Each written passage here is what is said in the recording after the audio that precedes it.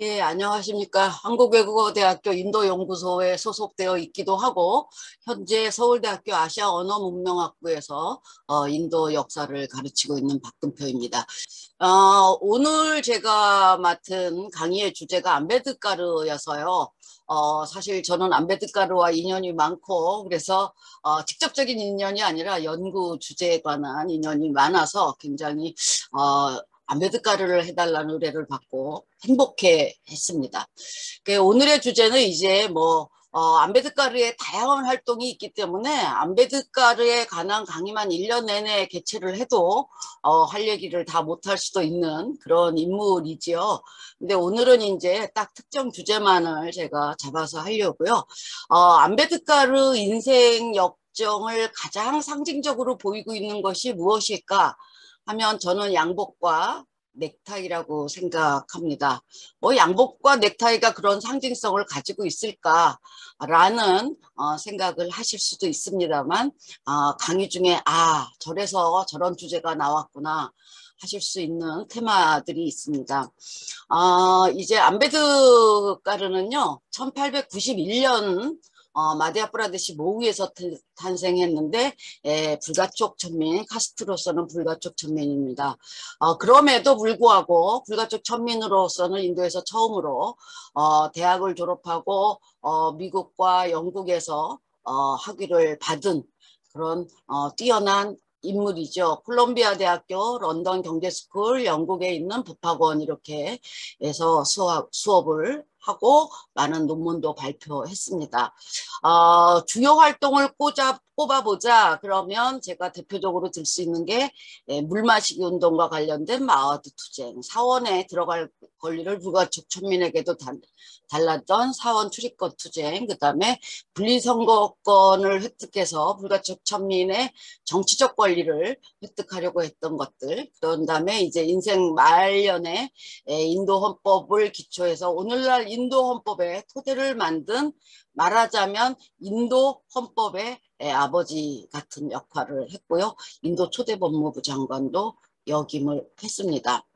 자, 오늘 이제 강의의 순서는요, 어, 양복과 넥타이의 상징성을 먼저 좀 살펴보고, 불가촉 천민의 권리운동을 어떻게 전개했는가, 어떤 테마로, 그 다음에 이제 불가촉 천민의 정치적 결정권에 대해서는 어떤 활동을 했는가, 그 다음에 헌법 기초위원장으로서 어떤 활동을 했나 그리고 마지막에 불교로 개종하게 된 이유는 무엇인가라고 하는 다섯 개의 테마를 잡았습니다. 그래서 어, 강의 방식으로서는 제가 지금 생각하기에는 어, 세 개의 주제 강의를 하고 10분 정도 쉬었다가 어, 나머지 두 개의 에, 주제 강의를 한 다음 어, 여러분들의 질문을 받으면서 대화를 나누는 시간으로 마련하고자 합니다.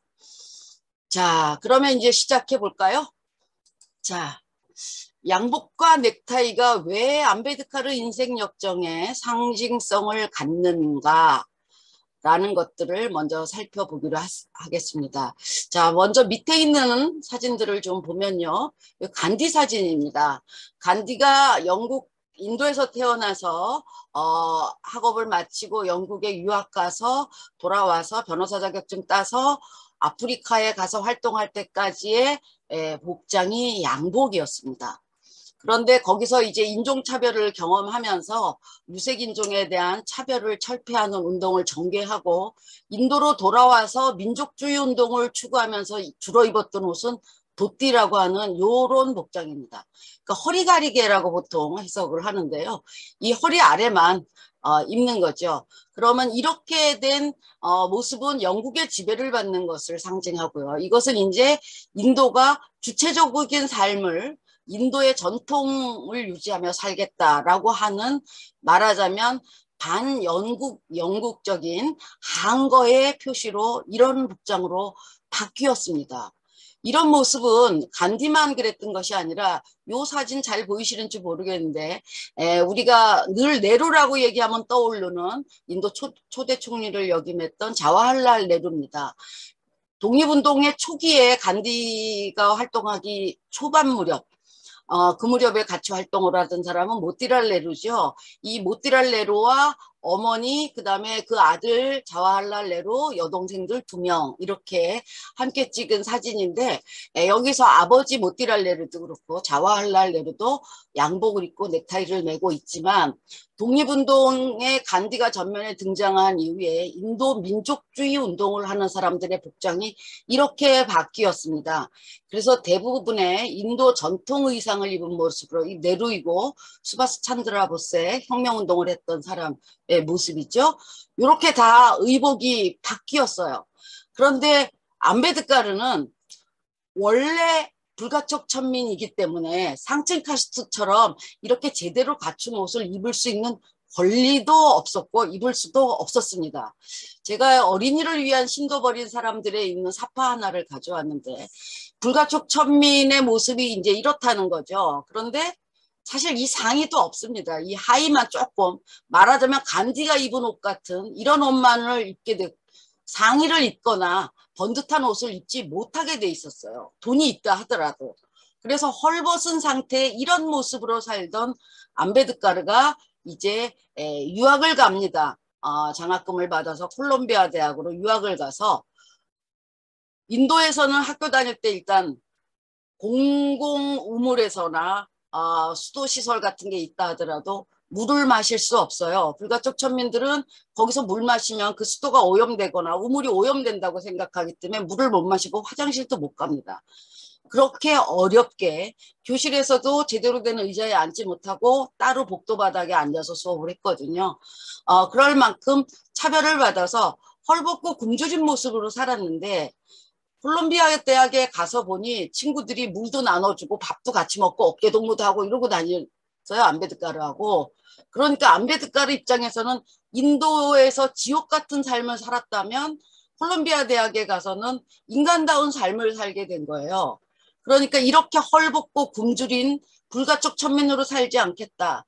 서구 자유주의적인 그런 사상을 받아들여서 나는 산업화된 어, 진보된 인도에서 불가촉 천민들을 위한 삶을 살겠다라고 다짐을 하고 인도로 돌아오는데 그 이후에 대부분의 모습들이 어, 간디나 네로는 어릴 때 사진도 있고 그렇지만 안베드카르는 그런 거 없어요. 어릴 때 그런 사진을 찍을 만한 여건도 아니었고 그래서 어, 제이 사파를 가지고 온 건데 어, 안베드카르 같은 경우에는 이 헐벗고 굶주린 모습으로 돌아가고 싶지 않죠.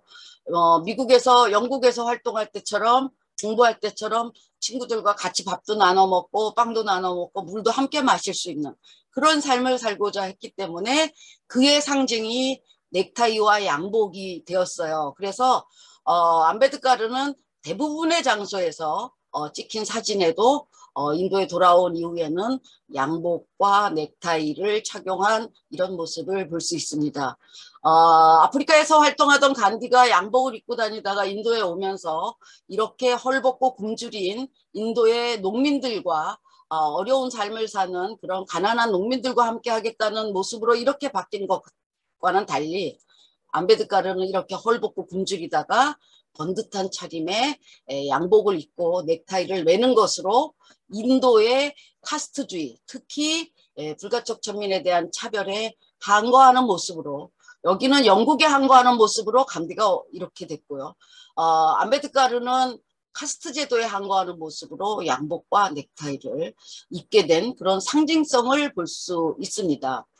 어, 이 사진들 보시면 이제 대통령이 됐던 라젠드라 프라사드라든지 그다음에 독립운동 간디와 함께했던 마울라나 아자드라든지 빠텔이라든지 수바스 찬드라 보스의 전부 양복에 넥타이를 맨 사람은 없습니다.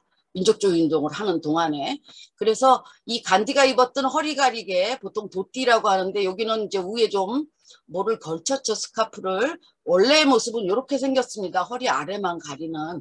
어, 그런데 지금 이제 인도의 정치인들의 모습을 보면 이렇게 헐벗은 모습은 아니고 이런 정도의 어, 모습을 가지고 있죠. 그러니까 꾸르타 파자마 같은 건데 약간 이런 도끼 같은 거를 걸치기도 하고 지금 집권당의 총리인 나렌드라 자, 아, 어, 모디 총리의 모습도 이런 모습으로 어, 보이는 경우가 많이 있습니다. 그런데 암베드카르는 이런 전통적인 의상을 거부하고 늘 양복을 입고 넥타이를 맨 상태로 어, 활동을 했는데 그게 인도 인도에서 불가촉 천민으로 태어난 암베드카르 입장에서는 인도의 카스트 제도에 항거하고 그것을 개선해서 불가촉 천민도 인간다운 모습으로 어, 살게 하고 싶고 자신도 그렇게 살고 싶다라는 염원이 암베드카르의 넥타이에 에, 드러나 있다고 어, 볼 수가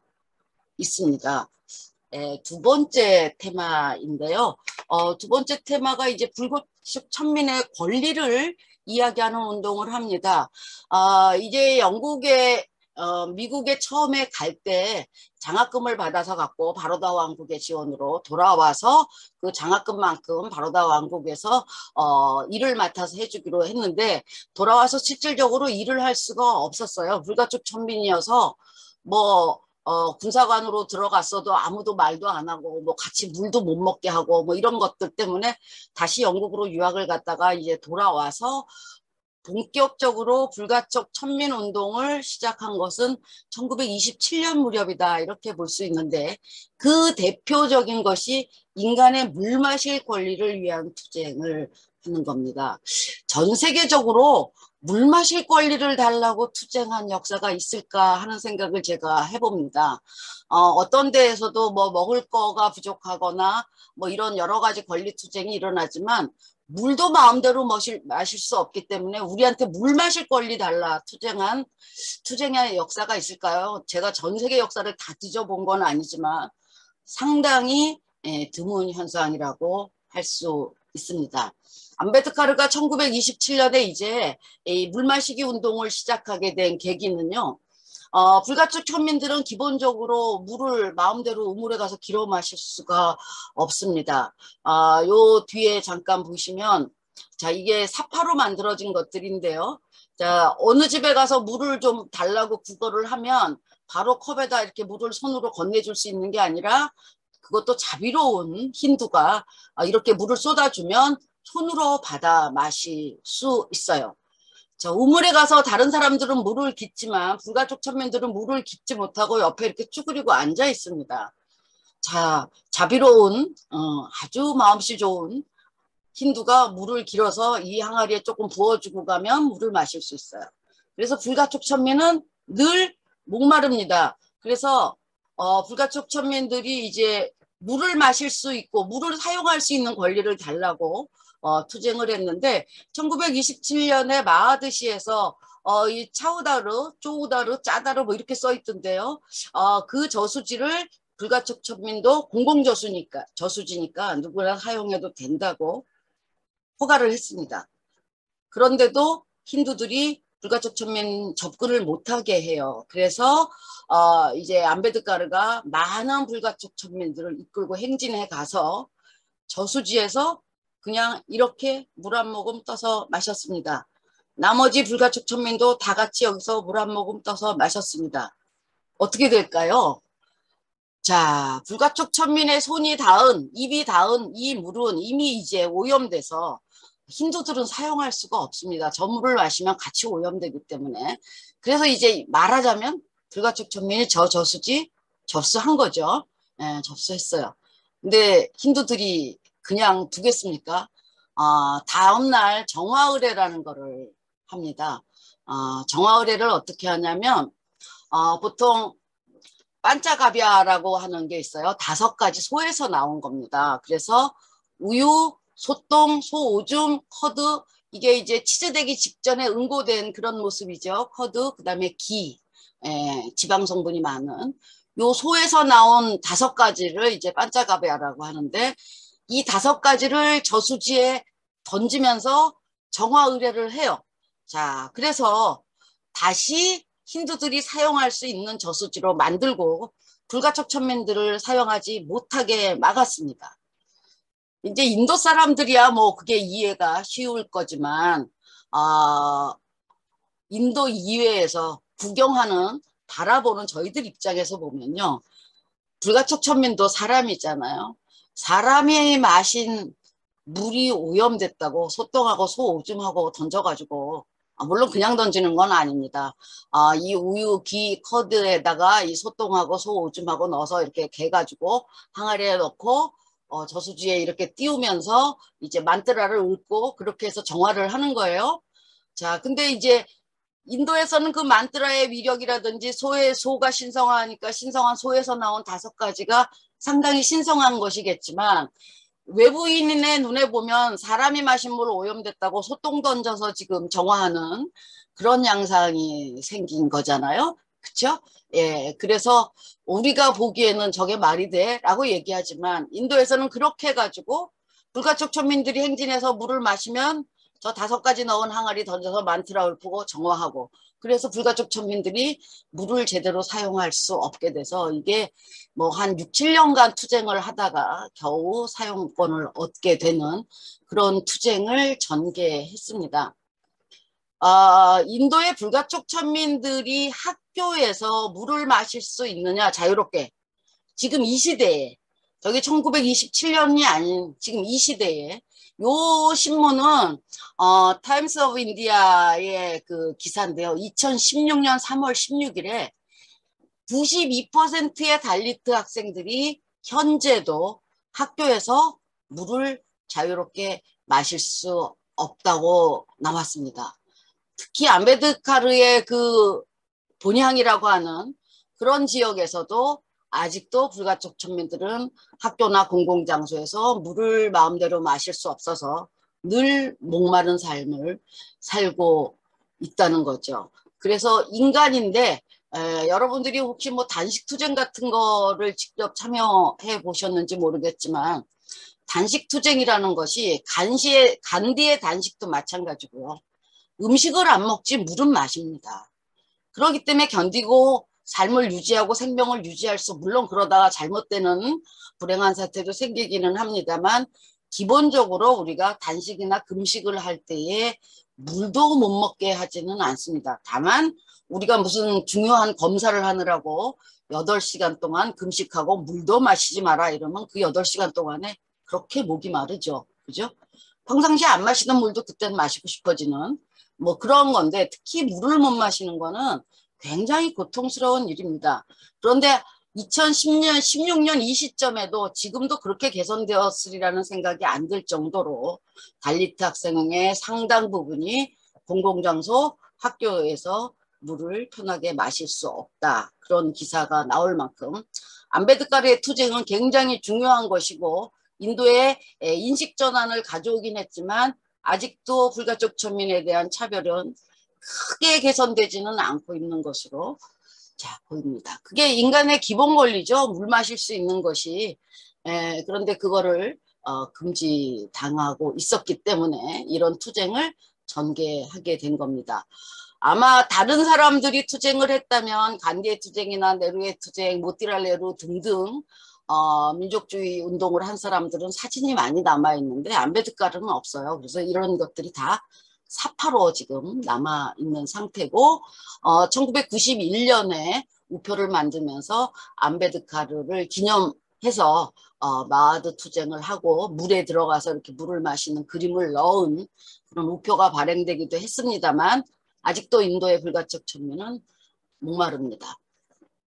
자, 두 번째 권리 운동은요. 사원에 들어갈 수 있는 권리 투쟁입니다. 1930년에 에, 이제 깔, 깔랄람 사원에서 이제 처음 이걸 시작을 했습니다. 자, 이 사원에 들어갈 수 있게 해달라고 이제 몰려간 거예요. 불가촉 천민들이. 어, 여러분들 뭐 각자 종교가 없으신 분도 있고 뭐 불교도나 기독교도 카톨릭 등등 다양한 종교를 가진 분들이 계실 텐데 내가 기독교인인데 교회에 못 들어오게 한다. 보통 상상이 잘 안 되는 얘기죠. 예. 뭐 교회에 불교도를 못 들어오게 한다든지 예를 들어서 절에 기독교인을 못 들어오게 할 수는 있겠지만 자기 종교인이 자기 사원에 못 간다. 이거는 사실 상식적으로 우리가 이해하기 좀 어려운 양상인데 인도의 경우에는 불가촉 천민은 신성한 장소나 사원에 들어오면 그 사원과 신성한 장소를 오염시킨다고 해서 힌두교라고 요구는 합니다. 불가촉 천민도 힌두교다 선언은 계속하고 있지만 사원에는 못 들어오게 하니까 우리도 사원에 가서 참배할 권리를 달라. 그런 투쟁을 1930년 3월 2일에 깔라람 사원에서 이제 처음 시작을 해서 어, 우리도 사원에 들어가게 해달라 라는 투쟁을 하면서 기본적인 권리인 물 마실 권리와 그 다음에 사람으로서 종교를 가진 사람으로서 내가 신앙하는 대상인 신을 숭배할 수 있는 권리를 달라. 이런 기본권이죠 이게 인간의 예, 그런 것들을 안베드카르가 요구를 하게 됩니다. 자 그래서 이제 지금까지 우리가 본 안베드카르의 투쟁을 잠시 정리를 해줘 보면 인간의 가장 기본적인 권리인 물 마실 자유가 없습니다. 불가촉 천민들은. 그래서 누군가가 주는 그것도 손에다가 부어주는 거를 그릇으로 받아 마실 수도 없고 손에 부어주는 물을 마실 수 있는 그런 상황. 그 다음에 자신의 종교적 성서와 사원에도 출입할 권리를 받지 못한 이런 기본권들을 인도에서는 불가촉 천민이기 때문에 인정받지 못하고 살았습니다. 그러다가 어, 안베드카르가 미국 유학에서 처음으로 기본권과 자유를 누릴 그런 것들을 몸소 체험하면서 내가 콜롬비아 대학에서 경험한 이런 자유를 나뿐만 아니라 인도에 있는 모든 불가촉 천민들에게 에, 서로 할 수 있는 그런 권리를 쟁취하게 해야 되겠다라는 생각을 가지고 어, 양복과 넥타이를 입고 1927년 무렵부터 이제 불가촉 천민 운동을 죽을 때까지 하다가 어, 힌두교에서는 희망이 없다. 그래서 이제 개종을 하게 되는 어, 그런 모습을 볼 수 있었습니다.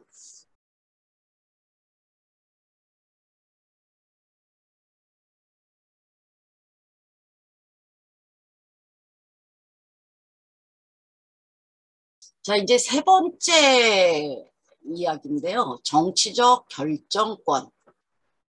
자, 정치적 결정권이라는 건요. 말하자면 뭔가 우리 국가와 나에게 직결되는 문제에 나도 의사결정에 한 몫을 할 수 있는 그런 권리를 달라는 거죠.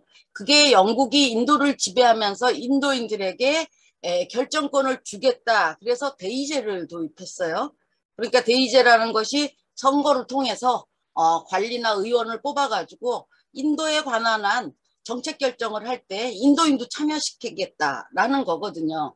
그래서 이제 행정부에 도 인도인을 임용하고 그 다음에 선거를 통해서 어, 지방의회, 뭐 중앙의회에 인도인들을 참여시키는 과정을 쭉 독립할 때까지 이끌어 어, 갑니다. 그런데 이 데이제를 도입하면서 인도의 가장 큰 문제 중의 하나인 종파 갈등이 이제 벌어지게 되는데요. 어, 어찌 보면 합리성이 있는 것 같은 분리선거제지만 갈등을 부추기는 요소로 작용을 하는 것이 분리선거의 실체이긴 하죠. 그래서 1909년에 인도통치법에서요. 무슬림들에게 3분의 1 정도의 분리선거권을 줬습니다.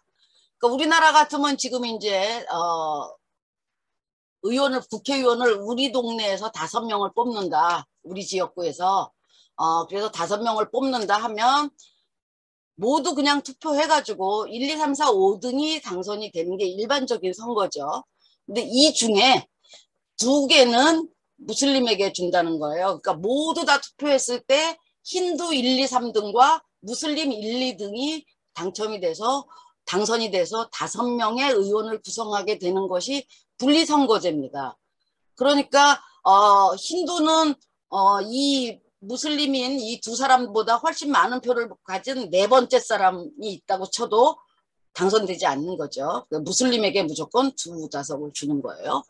그런데 이제 1919년에 오면서 왜 무슬림에게 주냐? 우리도 시크에게도 달라. 시크 교도들도 종교적으로 요구하기 시작했습니다.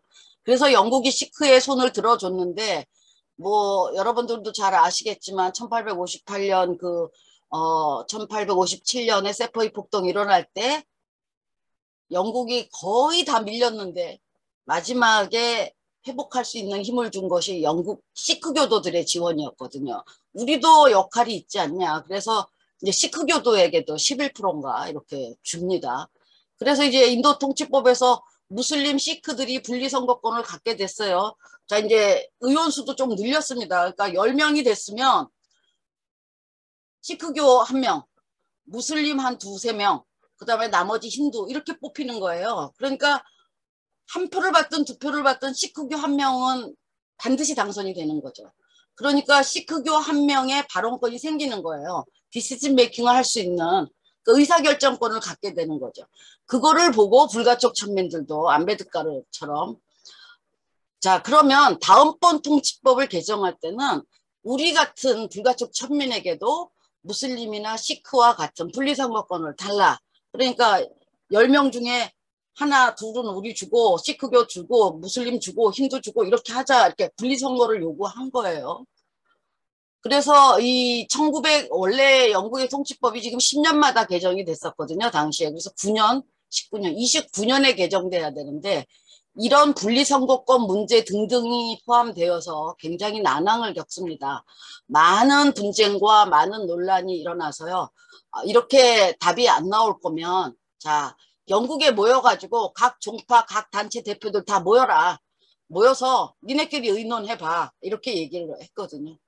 그러면 뭔가 의사발언을 할 권리가 생기겠지만 싸움할 수 있는 종파는 다 모아놓은 거예요. 커뮤니티는. 힌두, 무슬림, 시크, 불가촉 천민의 상층 힌두의 영국인, 뭐 여기 저기 혼혈 후손들 뭐 다 모아놓은 거예요. 그러니까 합의안이 나올 수가 없는 원탁회의를 만들어 놓은 거죠. 그래서 1차 원탁회의에서부터 3차까지 런던에서 원탁회의가 열렸는데 처음이 30년이에요. 1930년, 31년, 그 다음에 이제 32년 말 이렇게 해서 세 번의 원탁회의가 열렸는데 여러분들이 잘 아시는 간디의 소금행진 어, 썰트마치로 어, 국민회의는 참석을 안 했어요. 간디도 안 갔죠. 그래서 여기서 이제 에, 논의될 때 불가촉 천민의 분리선거권을 인정하는 분위기였어요. 자 이제 2차 원, 탁회의에 간디가 참석합니다. 그래서 회의장에 나타나서 처음으로 하는 말이 자 불가촉 대표가 지금 안베드카르랑 누가 와 있었는데요. 어, 니네들이 어째서 불가촉 천민의 대표일 수 있냐. 불가촉 천민 지위 개선 운동을 간디가 1921년부터 했거든요. 내가 10년간이나 불가촉 천민을 위해서 행동을 했고 그 뒷받침으로 국민회의가 했다. 그러니까 불가촉 천민의 대표권은 국민회의가 있고 그 국민회의 중에서도 나한테 불가촉 천민의 대표권이 있지 너희들이 뭐를 했는데 불가촉 대표라고 여기 나와 있냐 이제 이런 문제도 제기를 합니다. 그래서 국민회의가 불가촉 천민의 대표이고 내가 바로 불가촉 천민의 대표이기 때문에 나의 발언권이 다른 어떤 불가촉 천민 대표의 발언권보다 우선시되어야 된다고 주장을 합니다. 그러니까 안베드카르는 어이가 없지요. 어이가 없지 않을까요? 자, 우리 가끔 농담 삼아 이런 얘기를 합니다. 어, 한국전쟁 당시 먹을 게 없어서 배 고른 사람이 많았다. 요즘 아이들이 들으면 아 피자 시켜 먹지 그랬어 밥 없다고 밥을 못 먹어 이런다는 거 아니에요. 그러니까 본인이 배고파 보거나 그 시절에 피자가 어디 있어요. 어, 쿠팡이츠 시켜 먹지 왜 굶었대? 이럴 거 아니겠어요? 요즘 사람들이 들으면. 어, 그것만큼 이해의 각도가 다른 겁니다. 안베드카르는 불가촉 천민으로서 그렇게 천대받고 살아왔고 간디의 경우에는 자신은 불가촉 천민이 아니지만 불가촉 천민을 저렇게 차별하는 건 잘못된 것이다라고 힌두들에게 각성을 시켰어요. 그 두 사람의 입장은 굉장히 다른 상황입니다. 배고프면 피자 먹으면 된다는 생각을 한 사람하고 어, 배고파서 죽을 고비를 겨우 넘기고 살았거나 죽은 사람도 있다는 그 현장하고는 다른 상황이거든요. 그래서 안베드카르가 불가촉 천민이라는 걸 간디는 몰랐다고 해요. 어, 초기에. 그러니까 미국 가서 학위를 받아온 사람이 불가촉 천민일 수가 있겠나. 어, 누가 자기가 불가촉 천민 조금 얘기하다가 저렇게 대표로 나선 것이 아닐까라고 하다가 런던 원탁회의에 가서야 알게 됐다고 해요. 어쨌거나 본인이 대표라고 주장을 했습니다. 그래서 어, 영국이 이제 2차 원탁회의 이후에 Communal Award라는 걸 발표했는데요. communal 재정, 공동체 문제에 대한 어, 해결안을 제시를 했습니다. 그래서 여기서는 분리선거권을 확대해가지고요. 무슬림, 시크, 영인, 혼혈, 인도 기독교인, 유럽인, 불가촉 천민에게도 각기 분리선거권을 준다. 요 앞에 사람들은 다 기존에 있던 사람이고요. 불가촉 천민이 추가된 겁니다. 분리선거권으로. 어, 그 이야기를 들은 어, 간디는 당시 감옥에 수감 중이었거든요. 그래서 거기서 편지를 씁니다. 맥도날드 위원장이 원탁회의의 위원장이자 영국의 총리죠. 에, 그래서 이제 편지를 써서 종교가 다른 시크하고 무슬림이 저렇게 하는 건 내가 통제 불가능하다. 그러나 같은 힌두인 불가촉 천민은 도저히 분리선거권을 나는 인정할 수 없다. 그러니까 불가촉 천민에게 분리선거권을 준다면 나는 굶어서 죽으리라. 단식 선언을 합니다. 간디는 보통 단식 선언을 이렇게 공공의 어떤 목표를 위해서 할 때요. 어, 날짜를 정합니다. 며칠부터 며칠까지 21일 동안 아니면 14일 동안 뭐 이렇게 날짜를 정해요. 근데 이때 간디가 단식 선언할 때는 유일하게 데드라인이 없어요. 어, 이것을 바꿔놓지 않는 한 불가촉 천민 분리선거를 폐지하지 않는 한 나는 굶는다. 그러니까 말하자면 난 죽을 때까지 단식할 거다. 저걸 바꿔놓는다면 모를까 라고 어, 메일을 보냈어요. 편지를 어, 맥도날드 위원장에게. 그 영국의 입장에서는요. 안 된다 된다라고 본인이 결정해가지고 간디가 죽으면 폭동이 일어날 수도 있잖아요. 그러니까 늘 뒷꼬리를 조금 내려놓죠. 에, 그것의 한 방편이 인도인들이 니네끼리 합의해. 그러면 어, 니네들이 합의하는 사항을 내가 accept 해줄게. 이건 거예요.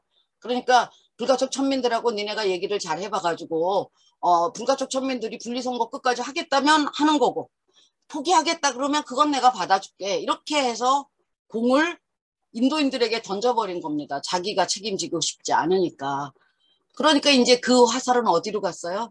안베드카르에게 간 거예요. 안베드카르가 끝까지 분리선거권을 주장하면서 간디가 죽게 내버려 둘 것이냐? 분리선거권을 포기하면서 간디를 살릴 것이냐.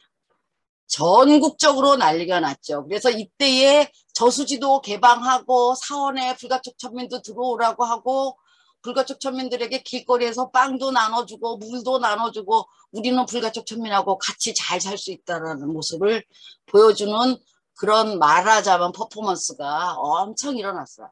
결국 이렇게 우리가 할 수 있는데 안베드카르가 우겨가지고 간디 죽이면 어 너 어쩔래 이런 거잖아요.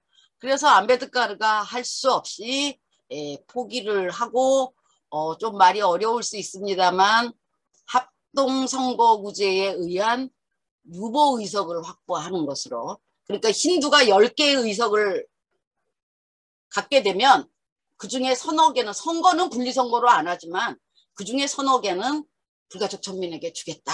이런 유보선거제로 말하자면 할당을 해주겠다는 거죠.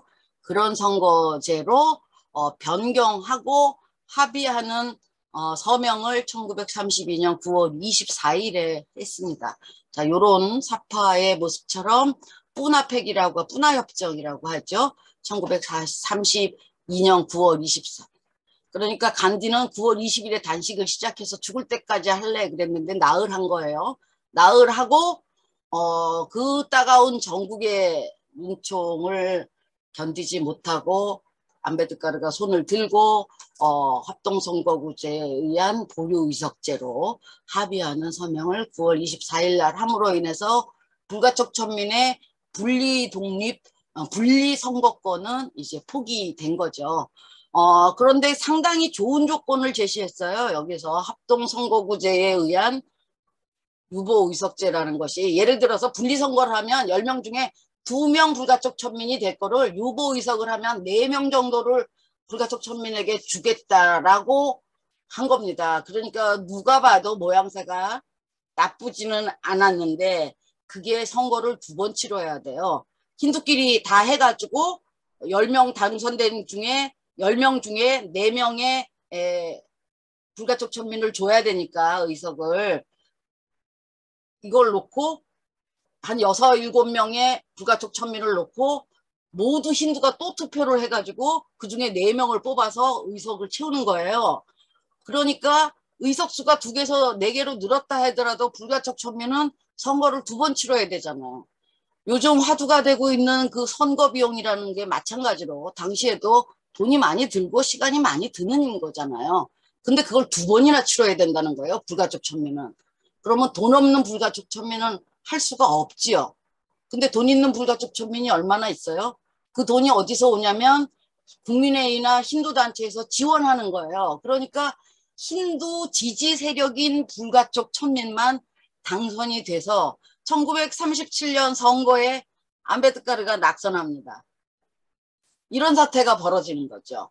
그래서 결국 그 사람들은 불가촉 천민을 위한 정치투쟁이나 발언을 하는 것이 아니라 출신은 불가촉 천민이돼 힌두단체와 다름없는 그런 모습의 역할밖에는 못하는 그런 의석이 확보가 됐죠. 그래서 불가촉 천민을 위한 정치적 발언권은 실질적으로 어, 획득되었다라고 보기 어려운 상황으로 전개가 됐습니다. 간디가 의도한 바는 아니겠지만 간디가 의도한 바는 아니겠지만 결국 두 번의 선거를 치른다는 것이 불가촉 천민들에게는 부담되는 일이었고 그것도 어, 국민회의와 같은 그런 힌두 상층 계층 사람들의 지지가 지지와 지원이 없는 순수한 불가촉 천민만을 위한 투쟁을 해서 힌두와 대립하는 사람들은 당선될 가능성이 희박해지는 그런 양상으로 정치적 결정권을 획득하지 못한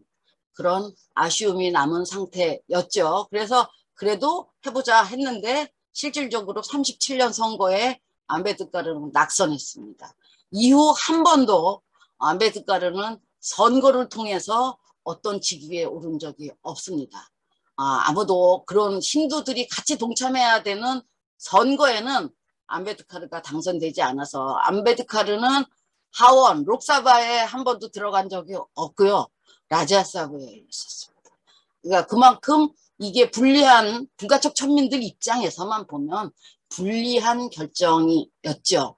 그러나 인도의 큰 대의 입장에서 보면 지금은 종교적으로 무슬림, 시크교 나눠서 대립하고 갈등을 일으키는데 불가촉 천민까지 별도의 집단으로 갈등을 일으키는 건 대형 투쟁을 위한 단합에 좋지는 않아요.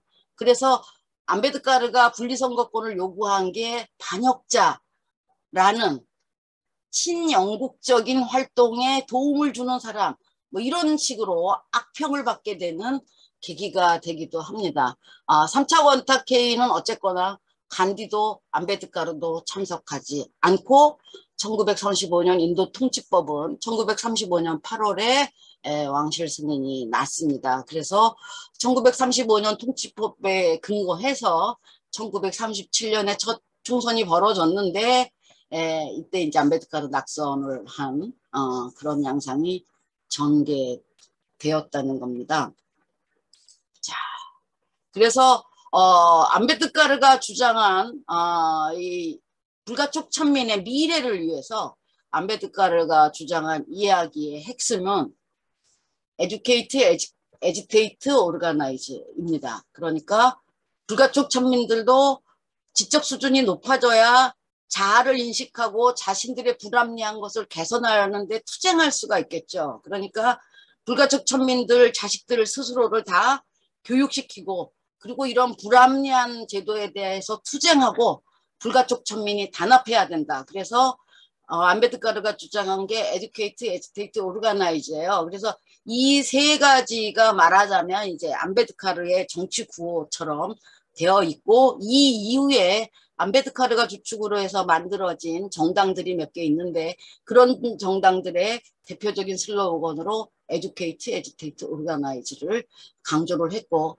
오늘날 어, 불가촉 천민들이 그나마 좀 나은 삶을 살게 되었다고 한다면 그것은 모두 암베드카르에 의해서 처음 발단이 되어서 일어난 활동 덕분이고 그래서 지금 이 순간에 우리 달리트들이 어느 정도 파워를 가질 수 있었다는 것은 암베드카르가 강조한 educate, agitate, organize 덕분이다. 라는 의미로 불가촉 천민의 어떤 집단 행동이나 모임에 있었을 때는 이슈가 어떠한 것이든지 간에 암베드카르의 사진을 앞세우고 활동하기 시작하는 어, 그런 모습을 볼 수가 있습니다. 그래서 어, 이제 암베드카르가 늘 어, 불가촉 천민의 권리는 스스로 쟁취해서 투쟁해서 쟁취해야 된다고 어, 강조를 합니다. 그런데 간디리를 비롯한 나머지 상층 힌두들 입장에서는 불가촉 천민을 차별한 것에 대한 책임은 불가촉 천민에게 없다. 우리가 잘못됐다. 그러니까 불가촉 천민이 단합해서 투쟁할 것이 아니라 힌두들의 생각을 바꿔야 한다. 상당히 합리적인 말이잖아요. 근데 실효성이 없었으니 문제인 거죠. 그죠? 그래서 어, 간디를 비롯한 대부분의 국민의 사람들은 불가촉 천민의 관심을 별로 안 가진 사람도 많지만 관심을 가졌던 사람들도 불가촉 천민이 뭔가를 해서 스스로 하게 하는 게 아니라 우리가 반성하고 참여하고 우리를 개선시켜서 불가촉 천민제라는 걸 만든 힌두들의 생각을 바꿔서 불가촉 천민제도가 없어지게 만들어야 한다는 것이 나머지 불가촉 천민 운동을 주도한 간디를 비롯한 사람들의 사고방식입니다. 근데 암베드카르는 언제까지 감나무 밑에서 감 떨어지기를 기다리고 그러다간 다 배고파 죽죠. 그러니까 우리가 스스로 감나무에 올라갈 힘을 기르고 올라가서 감을 딸 권리를 갖고 그거를 내리, 가지고 와서 다 같이 에, 모든 사람이 나누어서 가질 수 있는 투쟁을 전개해야 된다. 이렇게 강조를 한 겁니다. 그래서 어, 불가족 천민의 오늘날 어, 전면에 나와 있는 많은 사람들이 이 암베드카르의 영향으로 교육을 받고 그 다음에 단합을 했고 투쟁을 한 그런 배경을 가지고 성장을 했다고 해도 과언이 아닐 것이다. 저는 그런 생각을 합니다. 자, 이제 그 헌법 기초위원장으로 활동하던 안베드카르 이야기를 시작하겠습니다. 자, 요 사진에 있는 것은 이제 안베드카르와 함께 했던 헌법 기초위원회 위원들과 함께 찍은 사진인데 여기서도 보면 안베드카르는 양복 입고 넥타이 메고 있죠. 이제 외국인도 좀 있고 어 그렇습니다. 그리고 어 재헌의회는요 실질적으로 독립하기 이전에 에, 1946년에 이제 선거를 통해 가지고 어, 뽑았습니다. 물론 간접 선거였긴 했지만 해가지고 299명의 에, 의원이 재원의회에 참여를 했어요. 헌법 기초위원회는 1947년 8월 29일 독립한 이후에 구성을 해가지고 어, 총 재원의회 회기는 기간은 어, 2년 11개월 17일 동안이었고요. 어, 11차례에 걸친 회기가 개최돼서 실질적으로 회의를 했던 날은 165일에 에, 달하고요. 제7차 회기부터 11차 회기까지 헌법 기초에 대한 말하자면 독해를 하는 거죠. 1조 1항 이거, 1조 2항 이거 이렇게 해가지고 다 기초한 것들을 검토해서 어 1950 50년 1월 26일 50년이죠. 50년 1월 26일에 헌법이 공포돼서 어 1월 26일이 에, 인도의 말하자면 제헌절입니다. 공화국 Republic Day라고 되어 있어요. 공화국 헌법이 공포된 날. 이 날은 실질적으로 간디와 네루가 독립운동을 추진하면서 1931년 1월 26일을 독립기념일로 정했어요. 그러나 독립을 8월 15일에 했기 때문에 1월 26일이 의미가 없어졌잖아요. 그래서 어, 헌법을 그날에 공포를 한 겁니다. 아, 그런 말하자면 면밀한 어, 역사에 대한 어떤 존중감 뭐 그런 것들이 표현되어 있다고 볼 수 있겠지요. 그래서 어, 헌법 을 만드는 재헌의회가 구성돼서 2년 넘게 활동을 했는데 이렇게 모여서 어, 안베드카르가 설명 조항조항 설명하는 것을 듣기도 하고 같이 이제 뭐 이렇게 뭐 낭독을 하기도 하고요.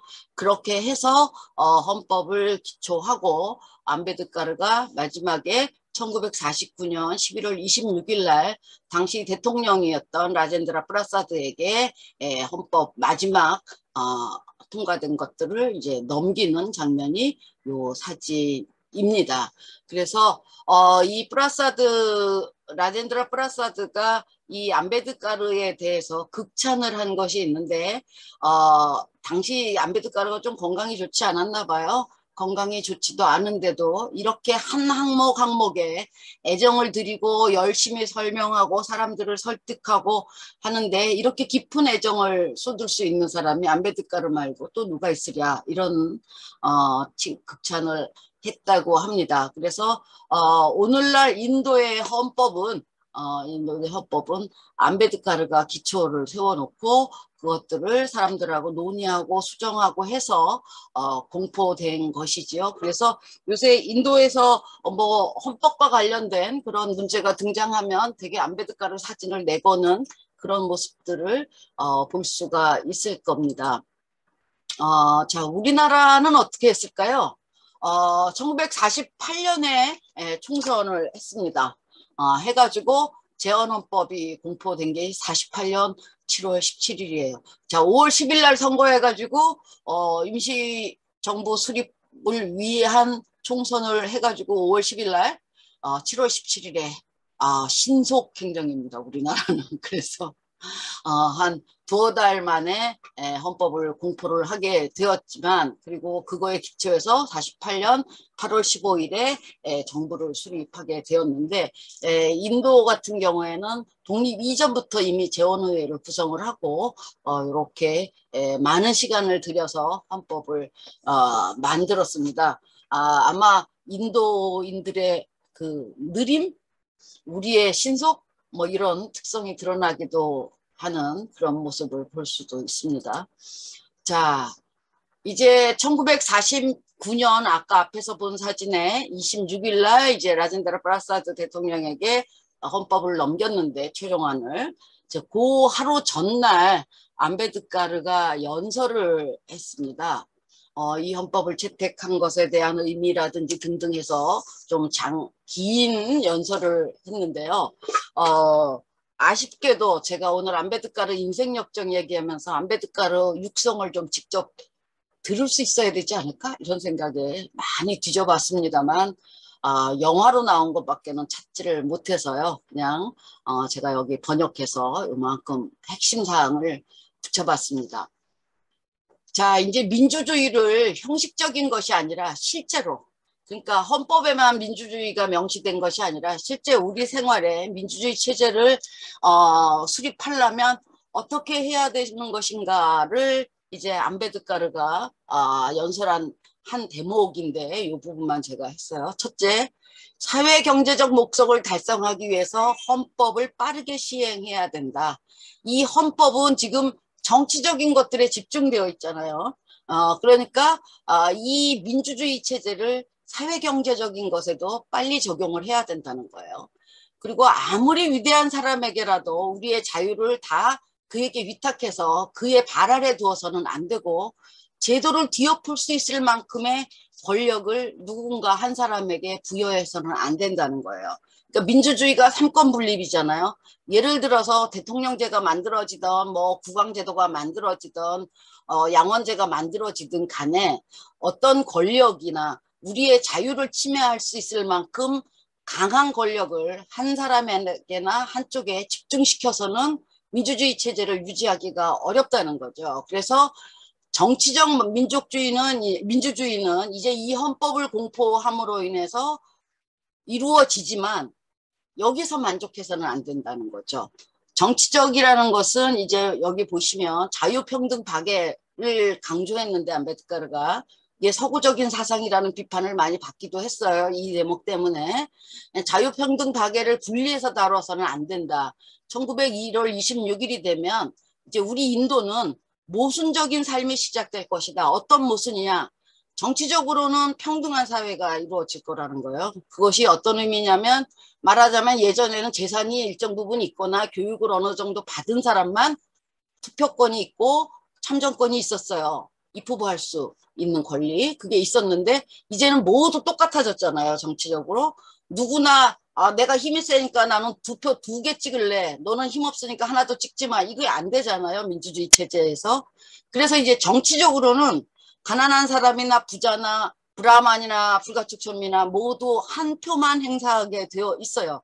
그러니까 우리는 정치적으로 평등을 이룩한다는 거죠. 이 법에 따라. 그러지만 사회 경제적으로는 결코 평등한 사회를 이루기가 쉽지가 않다는 거예요. 그래서 이제 1월 22일에 이 헌법이 공포되면 정치적 평등은 이룩하지만 사회 경제적으로는 여전히 불평한 불평등한 상태이라는 이런 모순의 삶이 시작된다는 거죠. 그래서 정치적으로는 1인 1투표로 누구나 평등한 가치를 가진 어, 개개인으로 인정이 되겠지만 사회 경제적으로는 인도의 구조상 1인 1개인 이런 가치 기준을 부, 부정하게 될 거라는 거죠. 지금도 대가족 제도가 유지되고 있고 집단적으로 카스트 제도가 유지되고 있어서 카스트의 정치화 이런 것들이 문제가 되고 있잖아요. 그런 것처럼 한 사람씩의 어떤 개인의 그러니까 뭐 어, 이기적인 측면에서가 아니라 각 개인의 권리를 인정한다는 측면에서 개인주의가 기초가 돼야 되는데 집단주의라든지 남녀 불평등이라든지 이런 거에 기초해 있는 이 사회가 정치적 평등만을 이루었기 때문에 상당히 모순된 삶 속에 갈등이 많이 빚어질 거라는 거죠. 그래서 언제까지 이런 모순 속에 살 것이냐. 이러한 모순이 계속된다면 정치적 민주주의 체제도 위태로워진다는 거죠. 지금 현재 인도에서 그런 모습들을 많이 목격하게 되죠. 어, 불가촉 천민 뭐 지정 카스트 제도로 하니까 그 밑에 있는 OBC들이 어, 우리 보통 기타 후진 계급 혹은 여타 후진 계급이라고 번역하는 OBC들이 우리도 어, 마찬가지로 어려우니까 우리에게도 그런 권리를 달라 뭐 이렇게 해서 집단 충돌을 하게 되잖아요. 어, 언제까지 이런 모순 속에 정치적으로는 평등하지만 사회 경제적으로는 평등하지 않은 정치적으로는 개인주의지만 사회경제적으로는 집단주의인 이런 모순 속이 계속 된다면 정치적 민주주의도 위태롭게 될 거라는 거죠. 그래서 그런 불평등에 오래 시달리다 보면 그런 사람들이 우리가 이 의회를 통해서 재헌의회를 통해서 힘들게 쌓아 올린 정치적인 민주주의 체제도 붕괴되어 버릴 거라는 거죠. 그러니까 정치적 평등은 이제 이렇겠다 헌법을 통해서 빨리 이것들이 사회경제적 수준에서도 평등해질 수 있도록 모든 노력을 다해야 된다는 그런 데 역점을 두고 어, 연설을 했습니다. 그러니까 안베드카르가 보기에는 지금 이 헌법으로 모든 사람들이 평등해진 것 같지만 실질적으로는 정치적으로 선거할 때 투표권 있을 때만 뭐 너도 한 표 나도 한 표 똑같은 것이지 사회적으로 경제적으로 상층, 하층, 뭐 부유한 사람, 어려운 사람 이런 사람들이 어느 정도 개인으로서의 자존감과 평등감과 기회균등과 이런 것들이 이루어지지 않으면 정치적 민주주의도 붕괴될 수밖에 없는 어, 그런 미래를 내다보면서 이제 정치적 평등을 이루었으니까 사회적, 경제적 평등도 이룩하는 노력에 게을러서는 안 된다라는 것을 역설 했습니다. 그래서 어, 이런 것들이 상당히 안베드카르가 했던 이야기들이 실질적으로 오늘날 안베드카르의 우려가 현실화되어 있는 모습을 보면서 안베드카르의 해안 또는 그 사람의 어떤 비전 이런 것에 대해서 공감하고 그런 것들이 제대로 실현되지 못하고 있는 현실이 좀 가슴 아프고 그런 모습을 어, 보게 되고 보고 있으면 아 안베드카르 생각대로 되었다면 오늘날 인도가 지금보다는 조금 더 나아졌습니다. 하는 생각을 하게 됩니다. 안베드카르가 헌법을 만들면서 가장 역점을 두었다고 어, 여기저기서 회자되고 있는 조항이 헌법 제15조예요. 15조에 보면 아래 것들과 관련하여 종교, 인종, 계급, 성별, 출생지 또는 그중 어느 것에 의해서라도 무자격, 자격을 박탈하거나 어, 책임을 뭐 전가하거나 제한을 두거나 뭐 이런 어, 불공평한 어떤 조건들을 만들어서는 안 된다는 거예요. 특히 강조한 항목에 A항에 보면 상점, 공공 레스토랑, 호텔 및 공공 이용 장소의 접근. 저게 왜 헌법 표시돼야 될까요? 인도의 상점이나 공공 레스토랑, 호텔 및 공공 유흥 장소의 불가촉 처민이나 하층 계층은 못 들어가게 했고요. 영국인들이 지배할 때는 유색인종들인 인도인들이 못 들어가는 호텔이나 레스토랑들이 있었어요. 영국인 온리인 거, 어? 온리 유럽인 이런 것들 그런 것들을 누구나 인도인들에게 평등하게 기회균등을 말하자면 뭐 상점에 가 내가 돈이 있으면 돈이 없는 데 가져오는 건 훔치는 거지만 내가 돈이 있으면 가서 빵을 사올 수 있어야 되잖아요. 불가촉 천민은 돈을 가지고 있어도 빵을 살 수가 없어요. 예. 그러니까 그런 것들을 이제 철폐시켜서 평등한 개인의 권리를 부여하겠다는 거죠. 그 다음에 국가가 재정을 지원했거나 공공사용을 위해서 만든 우물, 저수지, 입역가트, 도로 및 공공장소에 제한을 둬서는 안 된다는 거예요. 어떤 종교자는 다니고 어떤 종교자는 못 다닌다. 어떤 인종은 다니고 어떤 인종은 못 들어간다. 어떤 출신 카스트는 다녀도 되는데 불가적 천민은 안 된다. 이렇게 해서는 안 된다는 거를 헌법 제15조에 명시를 했습니다. 뭐 우물 사용 못하는 얘기는 제가 앞에서 했고요. 저수지도 마찬가지고요. 어, 뭐 이벽 같에 다 같이 몸을 푹 담궈서 어, 겐지드강에 들어가야 되는데 불가촉 천민은 못 들어가게 하는 건 상층들이 에, 오염된다는 생각 때문에 막을 수 있는데 도로는 왜 들어갔을까요? 도로는 불가촉 천민은요 길거리를 걷는 시간도 제한이 되어 있었어요. 말하자면 어, 말하자면 이제 도로 도로가 도로가 이렇게 있잖아요. 그러면 해가 여기 떴어요. 여기 떴는데 사람이 여기 서 있어요. 그러면 어떻게 되겠어요? 그림자가 이쪽으로 지죠? 그럼 이, 이 시간에 불가촉 천민이 이리 걸어가면 이 도로에 그림자가 생겨요. 그러니까 해가 이쪽에 떠 있는 시간에 불가촉 천민은 이쪽 도로를 못 걷게 하거든요. 도로 오염되면 상층 힌두들이 다닐 수 없다고. 그리고 이쪽에서 해, 해가 저녁에 이쪽에 가 있으면 불가촉 천민들이 이쪽으로 걸어 다니면 그림자가 이리로 지겠죠. 그러면 그 시간에 여기를 못 다니게 해요. 불가촉 천민들은. 그러니까 예를 들어서 오전에는 이쪽 길로 못 다닌다. 오후에는 이쪽 길로 못 다닌다라는 무언의 압박이 있는 거죠. 어, 그랬다가 잘못하면 이제 몰매를 맞기도 하고 그러니까 도로 및 공공장소 개인의 우리 집 앞에 불가촉 천민 못 오게 하는 건 할 수 있는 거죠. 내 땅이니까.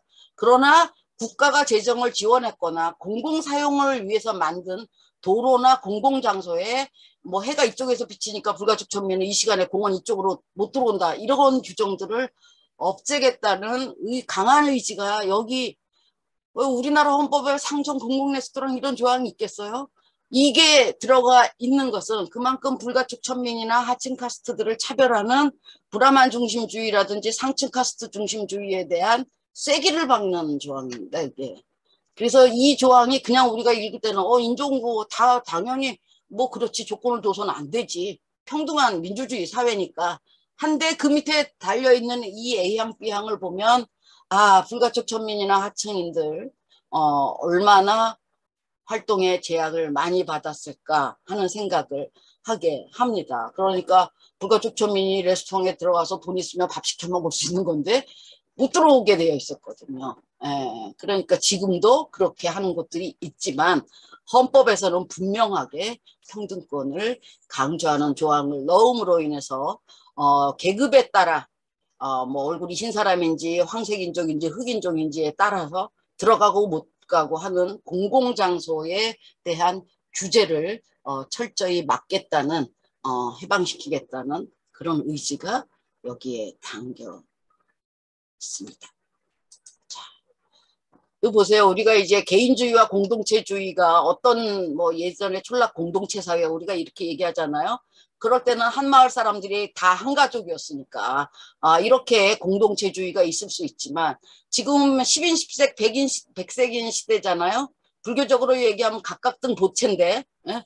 이렇게 생긴 사람이나 이런 옷을 입었거나 간에 누구나 다 하나 한 사람으로서의 개인으로서의 가치가 존중받아야 되는데 어, 이런 개인으로서의 가치보다 어느 집단에 속하느냐에 따라서 그 사람들의 활동 범주를 제한하거나 특권을 주거나 하는 이런 공동체주의가 발흥을 하면 정치적 민주주의 체제도 흔들리고 사회경제적 평등이라는 인식 자체가 붕괴될 수가 있다는 거죠. 그래서 예를 들어서 A와 B가 싸웠다. 누가 잘했냐 누가 잘못했냐 A가 잘못했냐 B가 잘못했냐 이거 따지면 되는데 A는 힌두냐 무슬림이냐 B가 힌두냐 무슬림이냐 이게 힌두 힌두끼리 싸웠을 때는 개인의 싸움으로 끝나요. 그러나 힌두하고 무슬림이 싸웠다. 좀 있으면 이제 힌두하고 무슬림 단체가 붙어서 패싸움이 나는 거잖아요. 그야말로. 그런 공동체 의식에 대한 경계를 안베드카르가 굉장히 강조를 했습니다. 그럼에도 불구하고 헌법에 에, 불가촉 천민을 비롯한 하층 카스트들을 보호한다는 명목 하에 헌법 자체가 어, 지정 카스트 할당제를 만들어 놓은 것은 사실 공동체주의를 반영한 거잖아요. 그게 오늘날 정치적 카스트의 정치와 그 다음에 하층 카스트의 집단 데모 이런 것들을 일으키는 요인이 됐거든요. 그러니까 개인주의로 가려면 철저히 개인주의로 갔어야 되는데 이제 이런 모순들이 헌법에 같이 들어있죠. 그래서 어떻게 생겼거나 어떤 옷을 입거나 돈이 많거나 적거나 간에 각각의 개인의 존엄성을 존중하는 가치를 담은 헌법 안에 일부 공동체주의라고 할 수 있는 할당제 같은 게 들어 있는데 그것은 안베드카르 생각에는 한시적이었어요. 50년 후에 폐지한다. 그 사이에 이게 불가촉 전민들이 어느 정도 교육받고 향상되면 이러한 할당제는 폐지한다는 생각으로 집단주의를 집어넣는데 옛날에 어르신들이 하시던 말씀 보면 어떤 법은 만들지 말라 그러잖아요. 만들어진 법 없애기는 쉽지가 않습니다. 특히 거기에 혜택 받는 사람들이 절대로 손을 내려놓지를 않고요. 그 사람들의 지지를 받아서 집권해야 되는 사람들도 그 법을 폐지하기가 쉽지가 않습니다. 지금 독립 75주년이 됐는데 지금 이제 지정 카스트 할당제 폐지한다. 이게 그게 만만치 않은 일이죠. 그죠? 그래서 카스트가 없어지기를 카스트 구분이 없어지기를 바라고 만든 보호 장치가 개인주의를 바탕으로 한 헌법에 공동체주의를 일부 허용함으로 인해서 오늘날 많은 갈등을 빚어지고 갈등이 빚어지고 있는 점은 아쉬운 점이다. 뭐 이렇게 볼 수 있을 것 같습니다. 특히 안베드카르가 이 재헌의회에서 네루와 함께 추진한 것이 이제 힌두 코드빌이라는 거예요. 힌두 법안인데요. 말하자면 인도는 세속주의 국가를 택했는데 무슬림도 시크도 힌두도 다 종, 종교적으로 종교적 민법을 가지고 있어요. 자 이걸 어떻게 할 것이냐. 그래서 통일 민법을 만들겠다는 생각이 없었던 건 아니지만 세속주의 국가에서 예를 들어 통일 민법을 바로 채택을 하면 무슬림 전통이 일부 훼손되고 힌두의 전통이 일부 훼손될 때 이 집단이 갈등을 일으킬 수 있기 때문에 일단 무슬림들의 민법을 인정해 줬어요. 종교 민법을. 그러니까 힌두도 힌두 민법을 받아들이되 개선할 부분은 개선하자고 만들어진 것이 이제 힌두 코드빌입니다. 그래서 힌두 코드빌을 재헌의회에서 특별위원회를 만들어서 안건으로 채택해가지고 추진을 했어요. 당시 의장이었던 어, 라젠드라 프라사드는 이런 의도에 안건 채택에 극력 반대했습니다. 재헌의회는 헌법만 만드는 것이지 하위 법들을 만들으라고 만들어진 의회가 아니다. 그러니까 재헌의회에서는 헌법만을 논의하고 이런 민법들은 독립 이후에 말하자면 영국 지배하에서 일어난 선거에 의한 재헌의회잖아요. 그러니까 순수한 1인 1투표를 반영한 인도인들에 의한 대표성이 약하죠. 그러니까 1952년에 이제 첫 총선을 치르면 그 의회에서 다뤄라 민법은 이렇게 얘기를 했지만 네루와 안베드카르가 강력하게 추진을 했습니다. 그래서 이걸 추진하는 과정에서 진보와 반동 사이의 갈등의 상징이 되었다. 보통 이렇게 얘기를 합니다. 자, 불합리한 힌두 민법의 여성 차별이나 뭐 이런 것들을 일부 다처제 이런 것들을 폐지하고 바람직한 어, 근대화된 민법 체계를 갖추자라고 얘기하는 네로와 안베드카를 하고 나머지 힌두 보수파들 사이에 온갖 논란이 벌어졌던 게 힌두 법안 논쟁입니다. 오늘날도 지금 뭐 통일민법 만들겠다고 하지만 그게 그렇게 쉬운 상황은 아니죠. 우리나라 같으면 옆 동네하고 우리 동네하고 민법 체제가 다르면 어, 받아들이지 않을 텐데 그러나 거기는 종교법이 있기 때문에 종교적 무슬림 민법, 어, 힌두교의 민법 이런 것들을 인정해주고 있다는 면에서는 어찌 보면 그것이야말로 공평하고 평등한 기준일 수도 있습니다. 그러나 거기서 일어나는 여러 갈등들이 있기 때문에 통일민법 얘기가 나오고는 있지만 아직 적극적으로 추진하기는 어렵지 않을까 싶은데요. 자, 의회에서 많은 논란 중에 이런 내용이 하나 있습니다. 안베드카르가 얼마나 어, 비판을 받고 고생을 했을까 라는 것을 볼 수 있는 것인데 아흐마드 의원이 일어나서 안베드카르를 비난했습니다. 자, 그에 앞서서 까마트라는 의원이 안베드카르가 제시한 힌두 법안은 거의 스모리티격이다. 어? 라고 얘기했어요. 근데 이제 이 아흐마드의 얘기는 원래 체계로 보면 베다가 맨 위에 있고 거기서 게시서인 슈루티가 나오고 그 슈루티 범주 안에서 스무리띠가 나오는 거죠. 법전들이. 예, 요런 체계인데 지금 스무리띠라고 안베드카르가 내놓은 거를 까마트가 스무리띠라고 얘기했지만 스무리띠 위에 있는 슈루티에서 나와야 되는데 슈루티에 그런 조항이 없다는 거예요. 그럼 그게 베다의 안베드카르가 제시한 법안들이 그러면 베다 어느 계열에 속하냐? 안 속한다는 거예요. 자 그러면 어떻게 봐야 돼요? 이거는 스무리띠도 아니고 슈르띠도 아니고 그러니까 제5의 베다다. 그래가지고 리그베다, 사마베다, 야주르베다, 아타르바베다 기본의 4개의 인도에 있는 베다 위에 이건 닥터 안바베다라고 할 수 있는 수준급이다 이게. 그런데 이 제5의 베다라고 하는 닥터 안바베다는 네 개의 배다의 권위에 다 도전하고 네 개의 배다가 규정하고 있는 모든 것을 싸그리 무시한 그런 처사다. 이런 비난을 합니다. 뭐 심지어 닥터 안바베다라는 비난까지 받았어요. 그래서 어쨌거나 많은 논란이 일어났지만 어, 결국 어, 재원의회에서는 힌두 법안 처리를 못했습니다. 그래서 안베드카르도 네루도 굉장히 이제 낙담을 했는데 그 이후에 1955년부터 시작해서 힌두 법안을 뭐 재산 상속법, 후견인법 뭐 이런 식으로 결혼과 이혼법으로 이렇게 나누어서 1950년대 후반에 다 개별법으로 통과를 시키기로 했어요. 이 인도 법안 논쟁에서 가장 큰 핵심 요소로 떠오른 게 뭐냐면 일부 일처제예요. 일부 일처제. 자, 인도의 한 남자가 다 여러 여자를 거느릴 수 있게 되어 있는 것은 여자들을 고난에 빠뜨린다.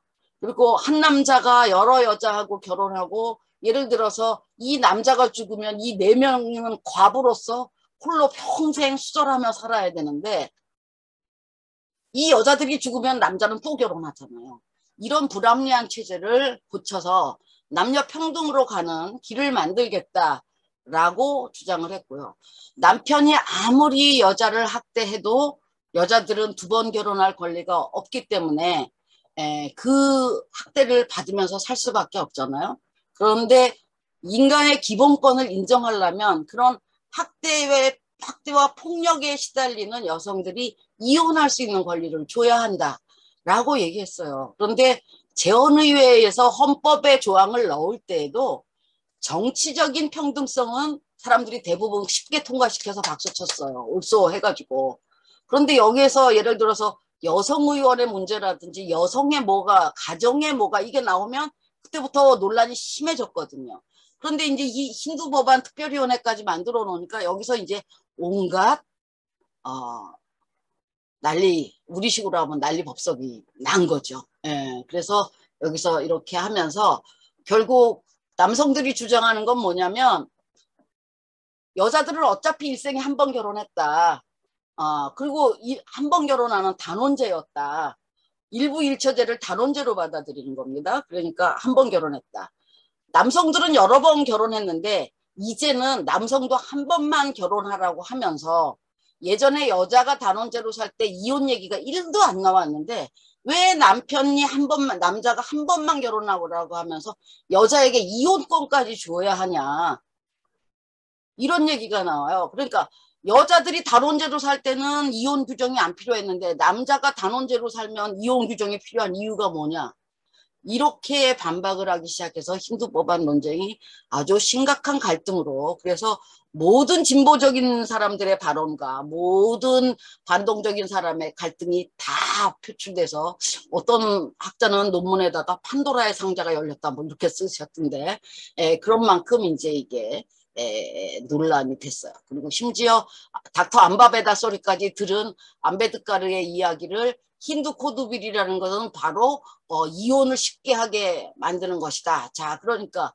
이혼의 권리를 여성에게 주는 것과 동시에 남성도 똑같이 이혼 권리가 있으니까 잘 됐네. 조금만 마음에 안 들면 그냥 내버리고 또 이혼하고 나는 오늘 이혼하고 내일 결혼할 수 있겠다. 남성들에게 좋은 체제 아닙니까? 라고 비아냥거린 의원들도 있었습니다. 그래서 여기서 안베트카르가 정말 이 힌두 법안에서 절망과 또 낙담과 이것이 아주 정말 어, 본인이 정신적인 이런 것들을 이 근대주의 사회에 근대적인 공화국 헌법을 만들면서 사람들의 생각은 이렇게 전근대적일 수 없고 여성에 대한 차별과 불가촉 천민에 대한 차별의식을 버릴 생각이 1도 없는 이 체제에 대해서 정말 절망을 하게 됐습니다. 그래서 건강도 굉장히 악화됐고요. 그래서 결국 안베드카르는 이제 에, 개종을 하게 됩니다.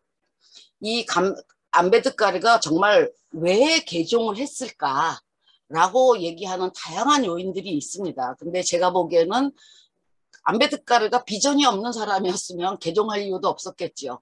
자, 카스트 제도 철폐와 평등한 인간의 권리를 추구해서 누구나 어, 개인으로서의 존엄성을 지키며 살 수 있는 그런 사회를 만들고자 했던 안베드카르에게 있어서는 그간의 역정에 낙담과 낙담이 낙담이 이어지는 그런 삶이었어요. 그래서 마하토 투쟁 했고 물 마실 권리 달라고 했고 아까 보신 것처럼 아직도 상당수의 학생들이 물을 자유롭게 못 마시잖아요. 불가책 총민이.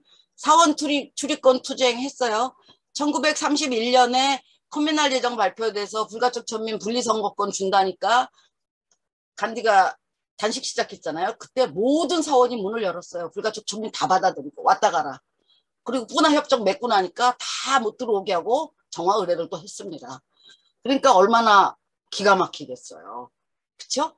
그래서 여전히 목마르고 어, 내가 믿는 종교 사원에도 못 들어가는 이러한 절망감이 있었죠. 그리고 역사적 처음으로 하층 카스트가 독자적 정치 권리 대표 선출권을 가질 수 있었는데 분화협정으로 좌절했고 그것이 불가촉 천민에게 더 유리한 것이라고 힌두들이 얘기했지만 결국 불가촉 천민을 위한 정치적 활동가들은 다 낙선하는 결과를 낳으면서 끝없이 추락하는 그런 본인의 심리적 상태를 겪게 됐습니다. 그때 1935년에 에, 자유로 가는 길이라는 글에서 어, 이 연설을 한 내용인데요. 연설한 내용을 이제 글로 만들어 놓은 거죠. 1935년에. 여기에 보면 나는 힌두로 태어났지만 이렇게 차별이 심한 힌두로 죽지는 않겠다는 선언을 했습니다. 누구나 종교적 자유를 누릴 수 있는 어, 그런 권리가 있어야 되는데 그렇지 못한 힌두교로 계속된다면 나는 힌두교도로 죽지는 않을 것이다 라고 선언을 했어요. 그런데 이제 결국 어, 힌두들에 의한 불가촉 전면의 차별은 크게 개선되지 않았다는 거죠.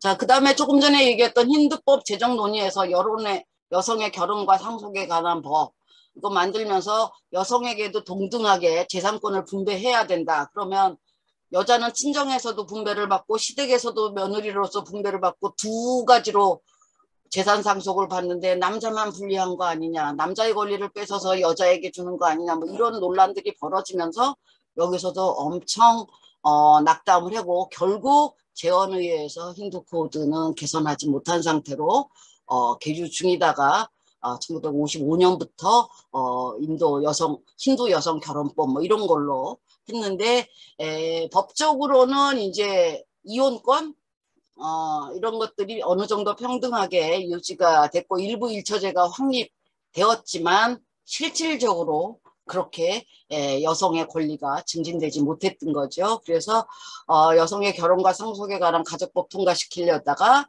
어, 좌절하게 됩니다. 이 좌절한 그때에 에, 법무부 장관직을 사임합니다. 어, 독립인도의 첫 초대 법무부 장관이었던 안베드카르가 어, 더 이상 법무부 장관으로서 내가 할 수 있는 일이 없다. 이런 불합리한 법 하나 개정을 못하는데 내가 법무부 장관직에 있을 이유가 없다. 그래서 사임을 하게 됩니다. 그리고 이때부터 여기저기 다니면서 한 연설에 보면 개종 의사를 계속 드러냅니다. 그런데 안베드카르가 개종하겠다는 얘기를 구체화시킨 50년대부터 시작해서 시크교, 무슬림, 기독교 뭐 등등에서 자기네 쪽으로 개종하라는 손을 많이 내밀었습니다.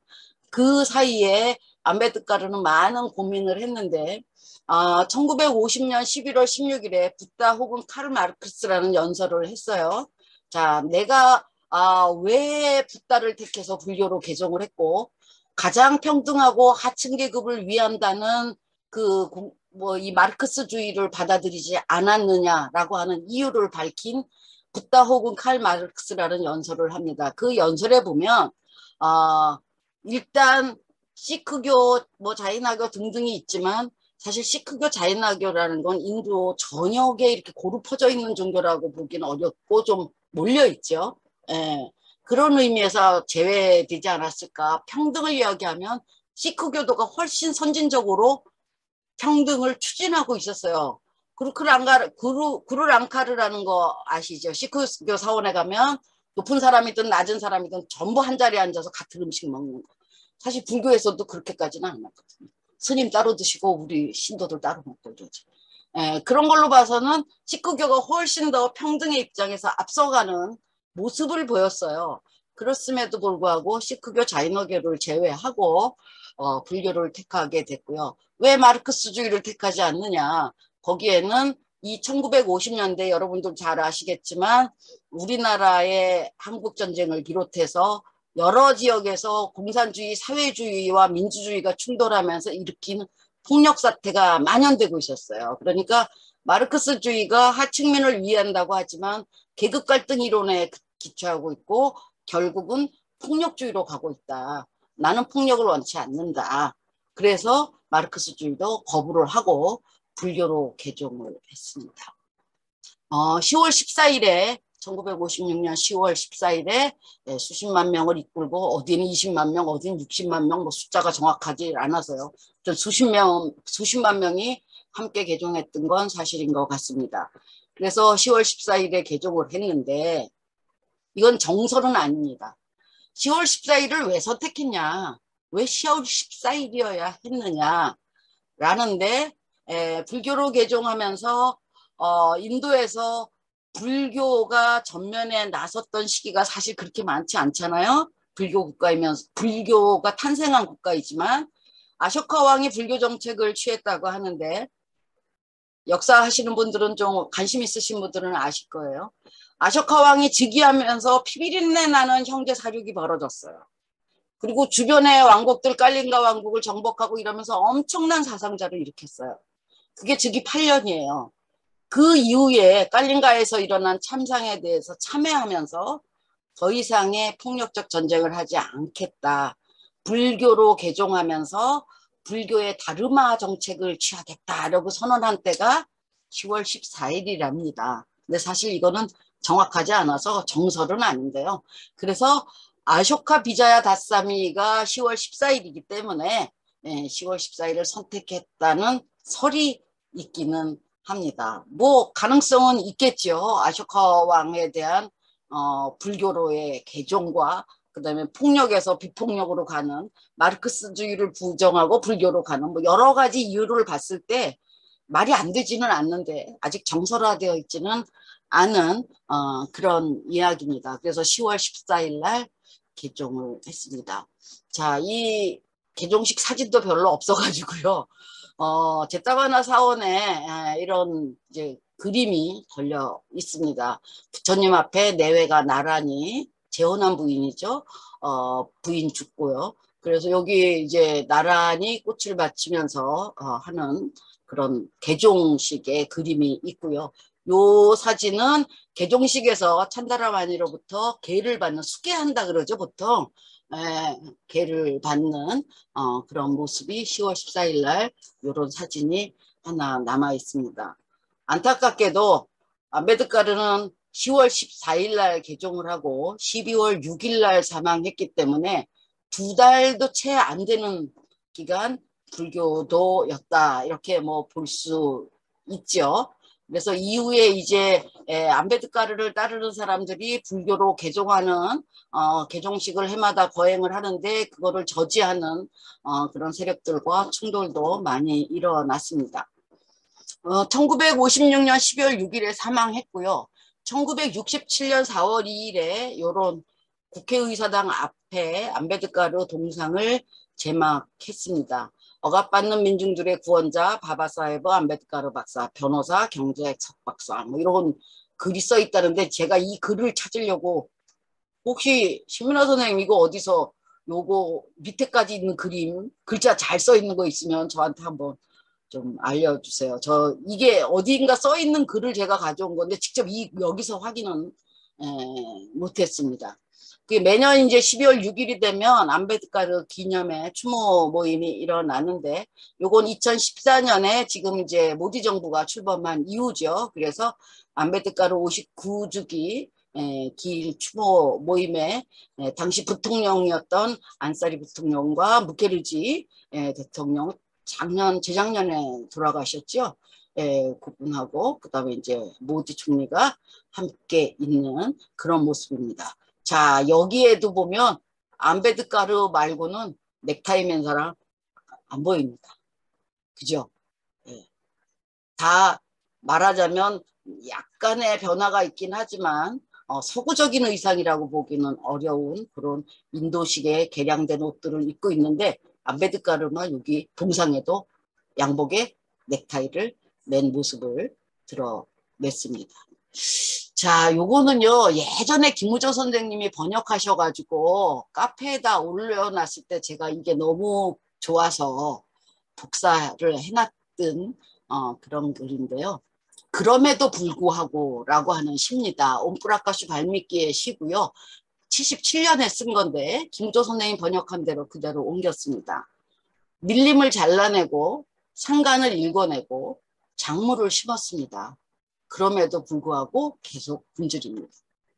수로를 내고 우물을 파고 수도를 놓았습니다. 그럼에도 계속 목마릅니다. 전쟁도 하고 영토도 획득했고 나라도 바뀌었습니다. 그럼에도 불구하고 계속 노예입니다. 두 손에는 끝없는 힘, 가슴에는 인내, 머리에는 신념, 그럼에도 불구하고 겪는 비난. 가시를 심지 않고 다만 현연한 사랑을 나누었습니다. 그럼에도 불구하고 계속 불가촉. 이런 시입니다. 그러니까 뭐 세상이 바뀌었죠. 그죠? 천지 개벽할 만큼 사회가 바뀐 거잖아요. 식민지에서 독립을 했는데 그럼 그러고 어 이렇게 뭐 다양한 뭐 예? 활동들을 경제 활동을 하고 있지만 계속 굶주리고요. 수로도 내고 뭐 이렇게 해봤는데 계속 목마르고 영토도 확보했고 독립도 이루었는데 계속 노예적인 상태죠. 그리고 뭐 이렇게 신념을 갖고 투쟁하고 이래봐야 비난을 겪기만 하고 그리고 내가 어, 가시나무 새도 아니고 가시나무를 내 가슴에 품고 있는 것도 아닌데 나, 나를 접촉하면 상처가 날 것처럼 다 불가촉시한다. 이런 얘기를 담고 있는 시인데 아메드카르를 생각하면 이 시가 제일 먼저 제가 떠올라서 뭐 여기 김호조 선생님한테 양해도 안 구하고 일단 올렸습니다. 자, 그래서 이제 정리를 해 보자면 암베드카르의 상징성은 진정한 차별과 억압의 실체는 영국만 우리를 차별하고 억압하는 게 아니고 상층 카스트도 그 대상이라는 거죠. 극복할 대상이 영국뿐만이 아니라 상층 카스트도 극복의 대상이 되는 거예요. 인간의 기본권은 문말실 권리, 자유로운 사원 출입권 이런 건 인간의 기본 권리인데 이것도 우리는 얻지를 못했고 정치적 권리를 획득하는 방법으로 힌두들은 자꾸 자비를 베풀어서 자기네들이 고쳐야겠다고 그러는데 안베드카르는 교육하고 단합하고 걸게하라고 주장을 했어요. 그래서 개인주의와 집단주의를 생각했을 때 개인주의의 근거에서 간디는 자꾸 촌락공동체로 돌아가자 그랬잖아요. 개인주의와 집단주의를 봤을 때 평등한 개인주의를 목표로 해야 어, 진보적인 사회를 만들고 산업화된 아주 힘 있는 인도를 만들 수 있다. 인도의 비전을 가질 수 있다고 주장을 했습니다. 그래서 진정한 민주주의를 실현한다는 것은 정치적 민주주의뿐만 아니라 사회 경제적 민주주의가 병행되지 않으면 안 된다.